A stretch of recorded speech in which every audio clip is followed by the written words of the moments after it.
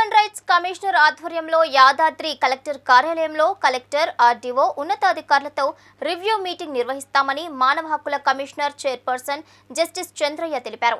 భువనగిరి జిల్లాలో రోడ్లు భవనాల అతిథి గృహంలో వీడియో సమావేశాన్ని ఏర్పాటు చేశారు.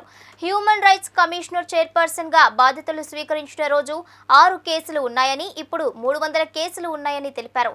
కమిషనర్ ప్రాధాన్యతను ప్రజలకు తీసుకువెళ్ళడానికి మీడియా ప్రధాన భూమిక పోషించాలని సూచించారు.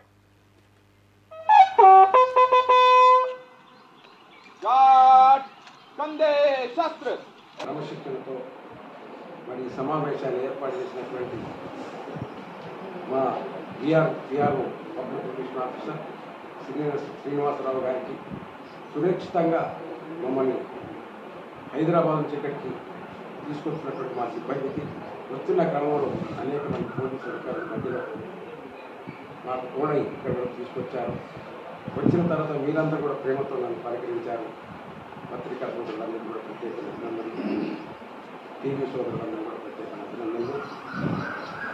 హ్యూమన్ రైట్స్ కమిషన్ కార్యక్రమాలను ఎక్కడ జరిగినా లీగల్ సర్వీస్ అథారిటీ యాక్టివిటీస్ ఎక్కడ జరిగినా ప్రమా ప్రముఖమైనటువంటి తీర్పులు సుప్రీంకోర్టు వారు ఇచ్చిన హైకోర్టు వారు ఇచ్చిన స్థానిక న్యాయమూర్తి ఇచ్చిన వాటిని కనుక మీరు ప్రజల్లోకి తీసుకోగలిగితే సమాజం సమాజంలో మీ బాధ్యత? నిర్వహించిన వాళ్ళు అవుతారు. కాబట్టి ఈ సందర్భంగా పత్రికా సోదరులు కూడా సామాజిక అవగాహన పైన అవగాహన పెరగాలి. రాజ్యాంగం పైన అవగాహన పెరగాలి. మానవ జీవితాలపైన అవగాహన పెరగాలి. అట్లా పెరిగినప్పుడు మీరు చాలా చాలా విలువైనటువంటి సేవలు సమాజానికి అందించగలుగుతారు. ఇవాళ భారతదేశ ప్రజాస్వామ్యం పరిపక్వం చెందాలి విలువలు అభివృద్ధి చెందాలి అంటే సమాచార శాఖ యొక్క ప్రత్యేకత చాలా ఉంది.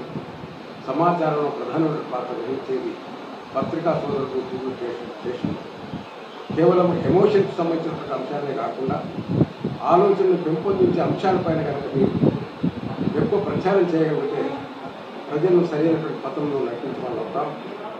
ప్రభుత్వానికి కూడా దోహదపడ్డ వాళ్ళు అవుతాం.